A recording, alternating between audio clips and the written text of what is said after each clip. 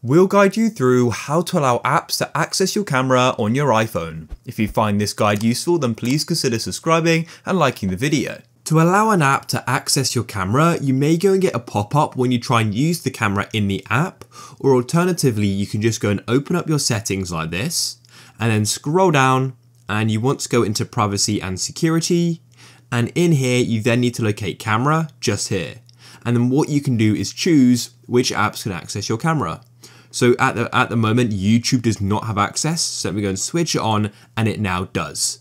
And alternatively, what you can do is you come back to your main settings page, scroll to the bottom to where you can see your apps, and you can then just go and click on the specific app like TikTok, and I can then choose if I want to give it access to my camera just here.